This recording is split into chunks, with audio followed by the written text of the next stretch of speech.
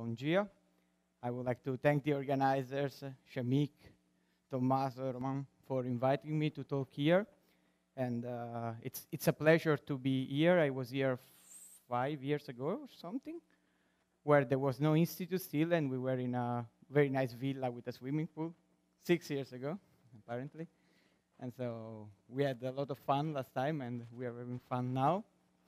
So, as you see, my, the title of my talk is outrageously general, but obviously I'm not going to talk of all the possible quantum magnets. I will talk only some restricted species, and I will define it in the following. Luckily, I don't need to justify too much my investigation to this audience because you all know that long range, or you all believe that long range interactions are important.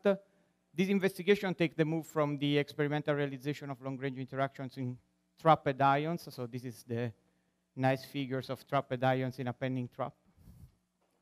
From the study of uh, cold atoms into cavity system where the scattering of the light with the atoms creates a long-range interaction which is actually fully connected.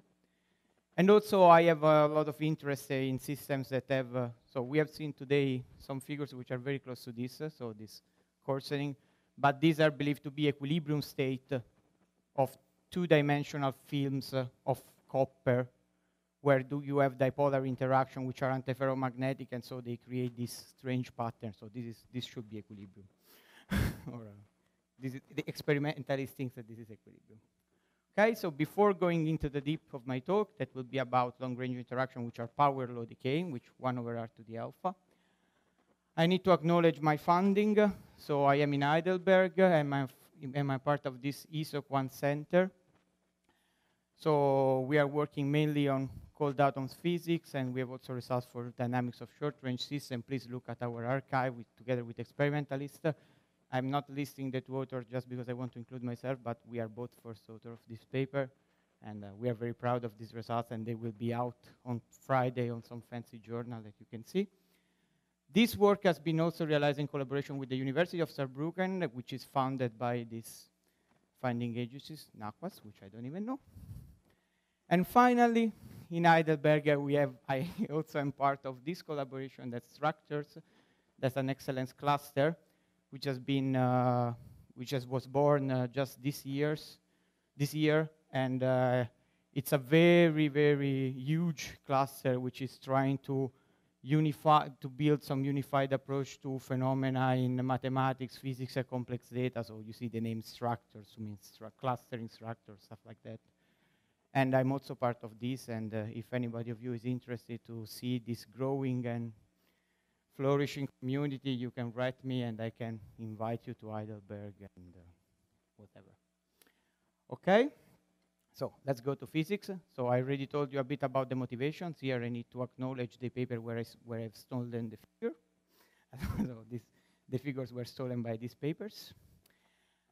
Then uh, I'm going to talk very briefly about the formalism I'm going to use, and then I'm going to deal with uh, equilibrium physics, uh, which I treat mainly the weak long-range regime, because I'm interested in universal properties, and the universal properties are going to be non-trivial in the weak long-range case, so when alpha is larger than the dimension of my system. And then I'm going to talk about dynamics, but dynamics is more interesting in the case of strong long-range interactions, so where alpha is smaller than d. And I'm really going to talk about only alpha equal to zero. Okay? So I've already told you the motivations. More motivations is mainly reali uh, realization with uh, cold ions of long-range interactions. I don't want to spend too much time about this. I like also the realization that is done in this uh, two-dimensional film of copper. So these two-dimensional magnets, uh, they have long-range interactions uh, and they build these beautiful stripe patterns. and I will tell you why I'm interested in this kind of systems because this system are realization of long-range Heisenberg antiferromagnets. Okay, so the method I'm going to use is functional renormalization group. Functional renormalization group is exactly as the same qualitative picture of renormalization group. So you have you want to compute some partition function, which is the integral over some um, internal degrees of freedom of one action, which for me that I normally like to work uh, in the Euclidean formalism is just the Hamiltonian. And uh, I want to integrate them, I want to do this integral step by step. So I want to integrate the modes one after the other and transform this integral into a differential equation. And so the, the picture is exactly the one of uh, standard renormalization group. So you start with a theory that you can solve, so mean field theory, and you try to build a differential equation that's going to guide you towards a trajectory in theory space with some fake time, which is the renormalization group time, is going to guide you to the exact theory of your model. And obviously, this has never been possible. And what functional RG does is try to build the best possible trajectory, which is not often optimal, to reach a point which is close enough to the exact point. Okay?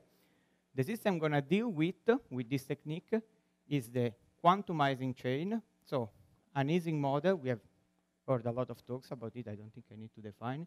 The spins are quantum, so they are Pauli matrices. it's in a transverse field. And so it has two phases, one symmetric phase where has exponential correlation, where the uh, interaction is very weak with respect to the external magnetic, with the longitudinal magnetic field.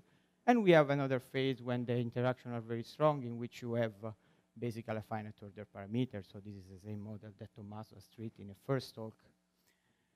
And what I'm trying to do, I'm going to go beyond the estimation that uh, he already told us with mean field, not the dynamics that he did with mean field, but I'm going to try to dress a little bit the description of the equilibrium universal properties.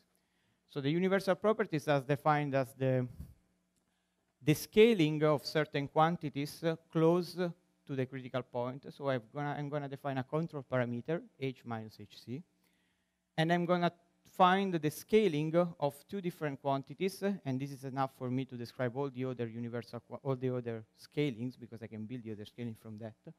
And these quantities are the correlation length of my system, which scales, uh, which diverges at the critical point with a certain exponent that I call nu, and the gap, so the difference between the energy of the ground state and the first dynamically accessible excited state, which closes like uh, lambda to some z nu power. Okay, so this is just a representation of how these two quantities behave. So the gap closes at the critical point and the correlation line diverges. And I'm not going to treat only the Ising model, but also a generalization of the Ising model, which are called quantum rotors models. So they are models which have uh, ON symmetric, that are ON symmetric. You can imagine this if it, like it is the position of a particle which is living on a sphere. Okay, so for each side of my one-dimensional lattice, I have a particle which lives on a sphere centered on that side, and the particles want to align themselves. So there's an interaction that wants all these particles to be at the same angle with respect to the z-axis, for example. And so why I am interested in this model? I'm interested in this model because the universal behavior of this model is exactly the same. I, I am not going to demonstrate, but I can tell you reference about that, of the Heisenberg antiferromagnets. So this is not the same, so this is ON symmetry, so it's not the same as ferromagnetic spins, uh, that will be SUN, in the quantum world. So there, there is confusion about this, but ON and SUN are not the same.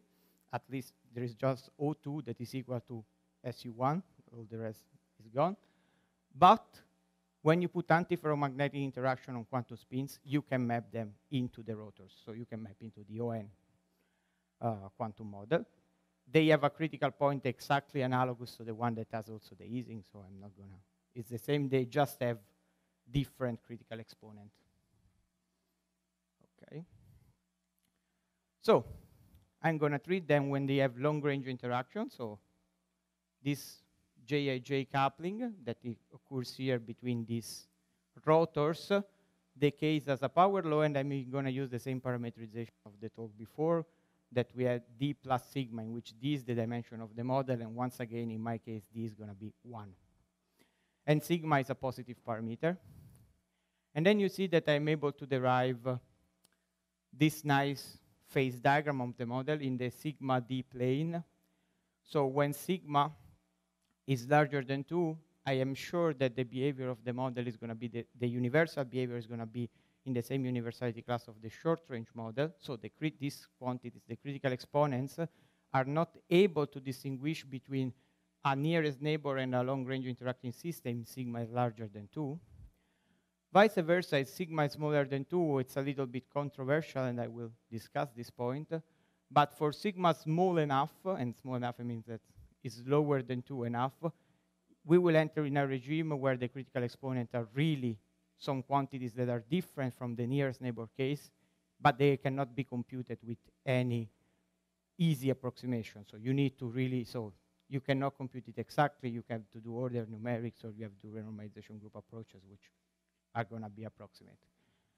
Differently, when sigma is small enough, and for small enough is, is less than the mm, 3 half d, I guess, this is going to be in the mean field regime.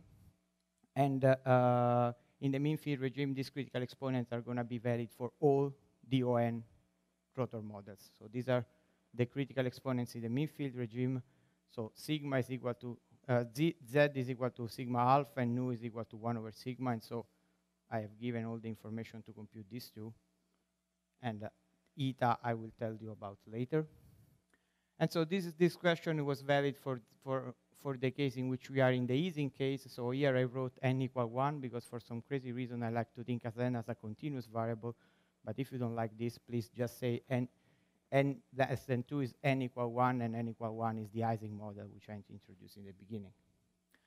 And so this was the picture for the Ising model and for the basically for the case of rotors, so where n is larger or equal than 2, it behaves very similarly. The only difference is that you have also the Mermin-Wagner theorem, and the Mermin-Wagner theorem tells you that if you are in this gray region, no phase transition can happen. In addition to the Ising case, the ON model also have this gray region.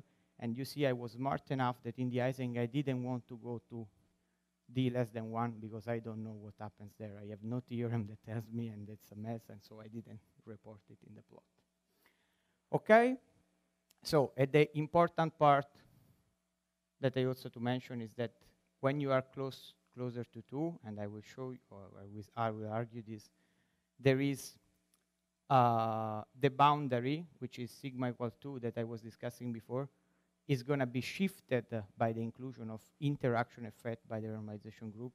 And this interaction effect will shift the boundary by a quantity that I call eta short range, which is nothing but the renormalization of the field dimension in the starter nearest neighbor Ising model.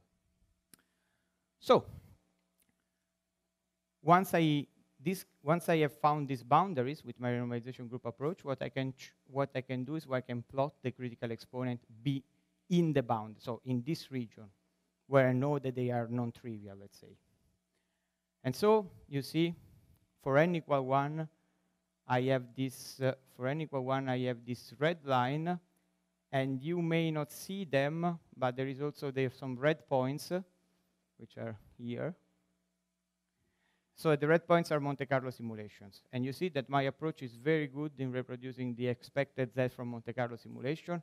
And then here it flattens because at this point is the sigma star. So it's not, it doesn't flatten exactly at 2, but it flattens uh, it flattens a little bit before, and this before is given by the 0.25, which is the anomalous dimension of the nearest neighbor case, as you may know. Okay?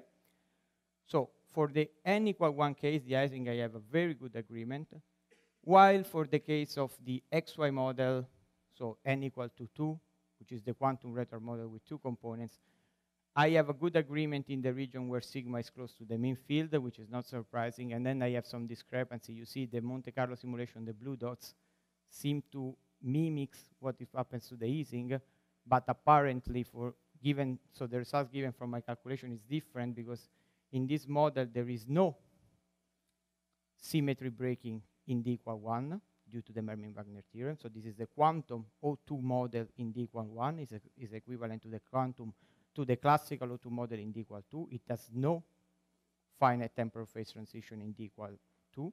And in quantum, it has no quantum phase transition in D equal 1. And so I do not expect any shift because somehow the anomalous dimension of the short range nearest neighbor case vanishes And so I expect the shift to be exactly at 2, and my method reproduce this. This is the blue curve. But the Monte Carlo simulation, for some reason, they see a shift, which we cannot justify. Okay, so this is the case of the z exponent in one, one dimension. In two dimension, it's very similar, but a little bit more trivial. I, so this dashed line is the mean field result, and so as you see, in d equal 1, uh, the shift from the mean field is pretty big, while in d equal 2, the shift from the mean field is pretty small. And so you don't need, we don't need to discuss a lot about this. Now I'm going to compute uh, z nu, and I'm going to report 1 over z nu, that is the other exponents that I promised you. And this exponent, as you see, also I have the Ising case, which gives this nice red line, which agrees pretty good with Monte Carlo simulation that are the red points. These triangles are also Monte Carlo simulation, but uh, they are not trustable because they see an exponent which is different from the mean field result also when the when everybody, so every technique is sure that the system should be in the mean field behavior. So should have mean field behavior. So the triangles are not trustable, the dots are much better, and we are in agreement with the dots. And once again, for the Ising, everything seems pretty fine. There's a little bit of discrepancy, but the discrepancy, as you see, is larger in the nearest, so in the regime where the interaction, where long-range interactions are irrelevant, where the system looks like nearest neighbor, and this is pretty obvious because if you have long-range interaction, interaction is going to be stronger and the system is going to be closer to the mean field. So obviously when long-range interaction are stronger, the normalization group works better.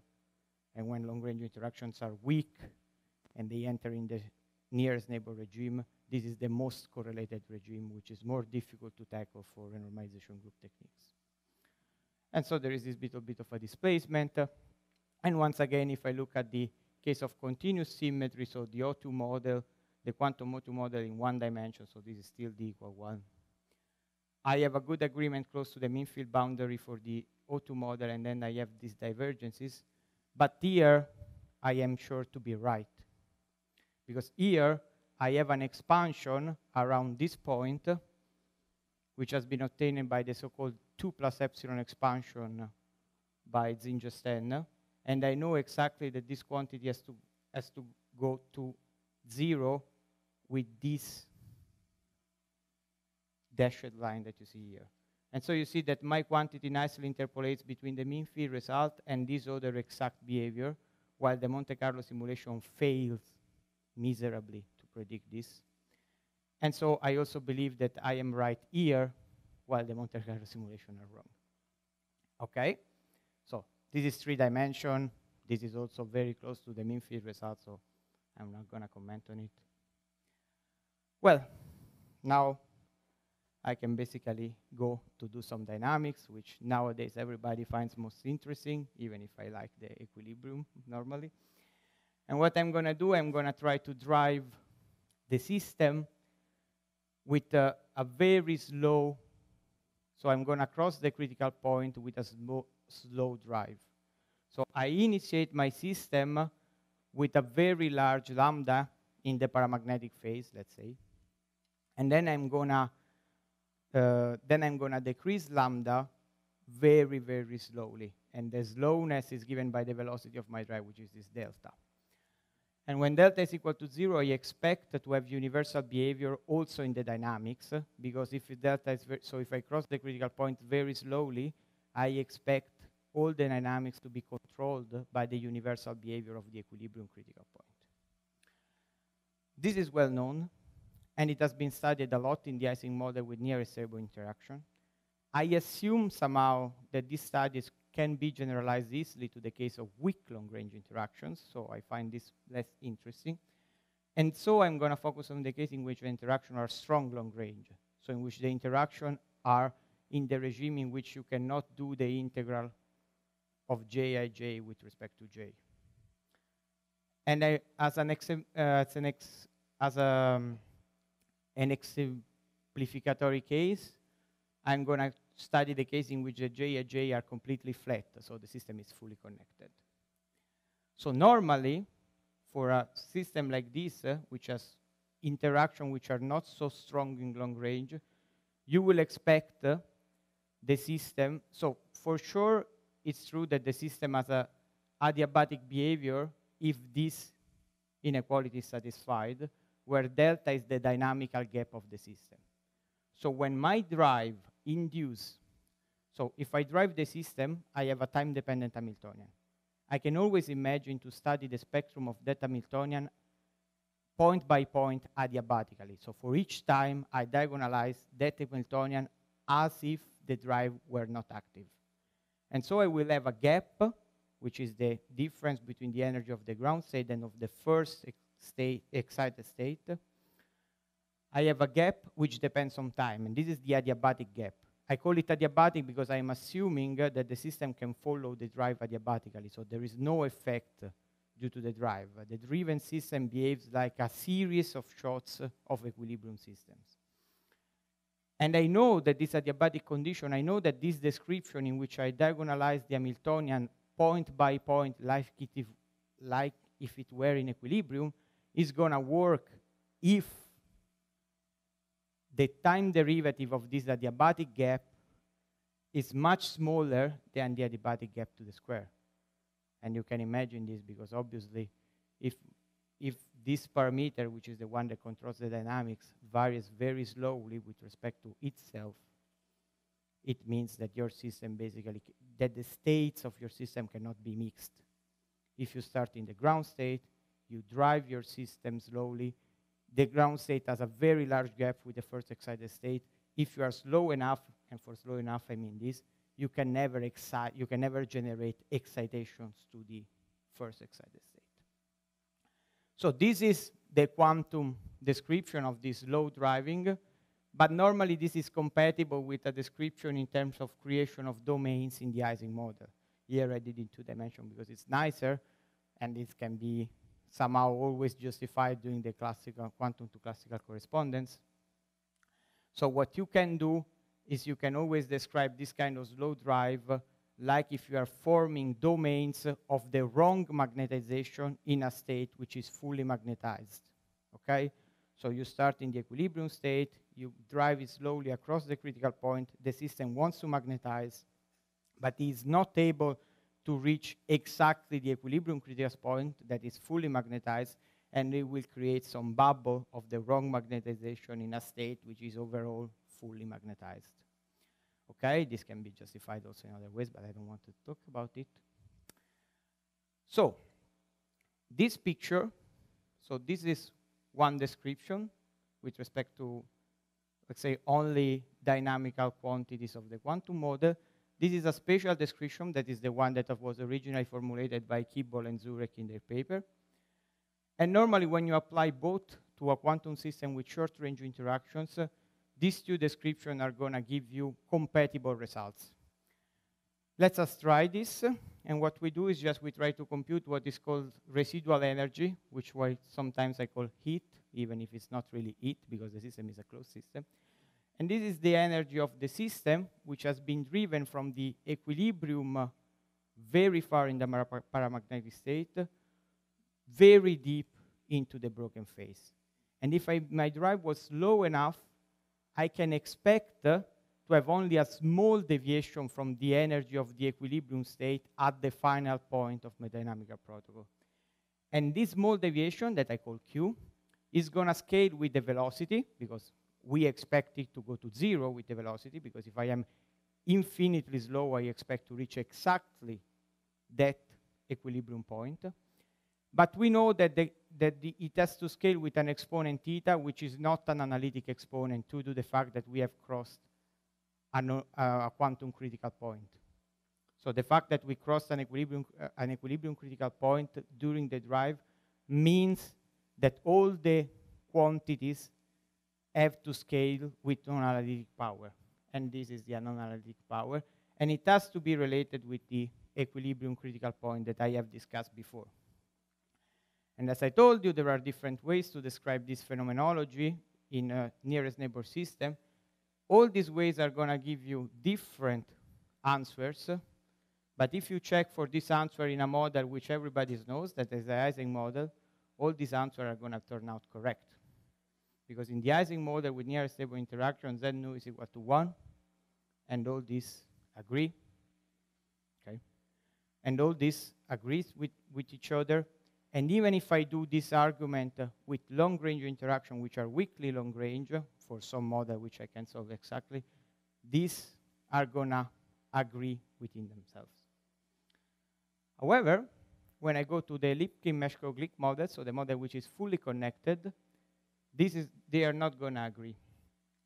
But before I want to tell you how I'm going to treat this model. In this case, I'm not going to do renormalization group because a fully connected system is beyond my capabilities with renormalization group.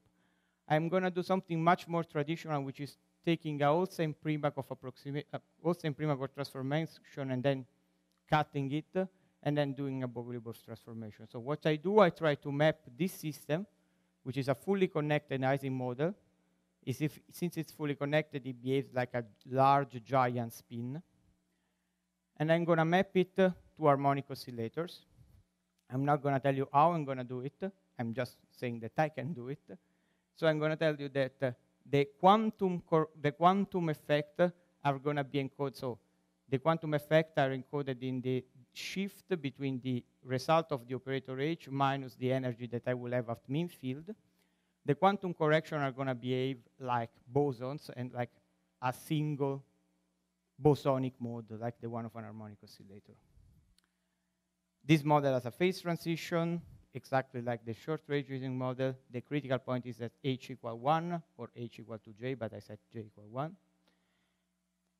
And uh, I have the scaling both in the symmetric and the broken phase because this model is easy enough that I can solve it exactly. And I have these critical exponents nu is equal to 3 half, and z nu is equal to 1 half. And when I plug this into the two, into the three scaling that I've mentioned above, I find that the results disagree because one result gives 3 half and the other result gives 1 third. But this is not the only point. It's not just that the theory fails. You can also find numerical results in the literature which they agree both with one or with the other conjecture. And so it's very different, difficult to understand what's really going on in the system because the two standard arguments of Kibble-Zurek, the spatial and the energy one, disagree. And also the numerics is sometimes is in agreement with one and sometimes is in agreement with the other. So, and this is all, all of this is due to the fact that this z nu is equal to one half instead than one. Okay, so, as I said, I'm going to treat uh, the case of strong long-range interactions, fully connected, and I mapped it to a quantum harmonic oscillator. And the cool thing of the quantum harmonic oscillator is that I know everything. I can solve the model dynamically. So, if I told you that this is a that this system reduced to a quantum harmonic oscillator, and this delta, which is the gap between the, the, the ground state and the first excited state, is depending on time, if this is an harmonic oscillator and it is at lowest order, I can solve it exactly. Because this gap, so this omega is exactly like delta, so they are the same quantity. Now I call it omega to make contact with the harmonic oscillator. And when I solve it dynamically, I know everything. I know the adiabatic states, obviously, because they are just the equilibrium basic of the harmonic oscillator in which I barely substitute the time dependent, the time independent frequency with the time dependent one. So this is the definition of adiabatic states. I solve the system like, like, if it, like if it were in equilibrium, but uh, with the quantities that are time dependent, and this is the result. But I also know the exact state in which I solve the system not for the eigenstate of the Hamiltonian, but for the eigenstate of the Liouvillean, which is the time dependent operator. So I can do this, I can study them. I don't want to get into the details of this because I don't have time. And I can compute the fidelity. So the fidelity is just telling me if I started in the ground state, at the beginning, deep in the paramagnetic phase, and I go slowly across the transition far in the ferromagnetic state, what is the correction? So the fidelity is going to be 1 if I remained in the ground state forever, but I didn't. And the defect density, which is basically very close to 1 minus the fidelity. And this is what we are going to obtain, that everything depends on this parameter lambda, which is n, the size of the system, multiplied by delta. And sorry, here it's v because this I stole from a numerical article. And we find that also our results, theoretical results, are perfectly in agreement with what was numerically found in this paper, and they had no way to justify this fact. So in this fully connected system, everything is going to depend not from the velocity, but by n, which is the size of the system, multiplied by the velocity.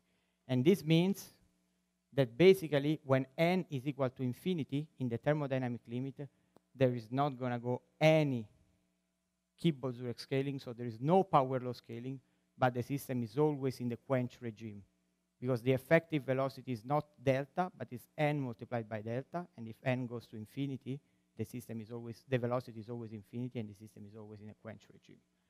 This is in agreement with some analytical results on an harmonic oscillator that by mathematician. I don't have time to discuss this. We were very happy about it. And so Kibble-Zurek appears only as a crossover, but the real result of the red line is that becomes a quench. Well, okay, this I said, and these are my amazing collaborators. Thank you very much.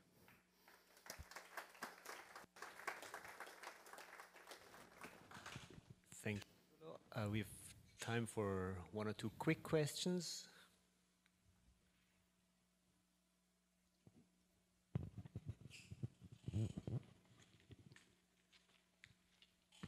So this is just a very simple question for the understanding. So your harmonic oscillator is basically your collective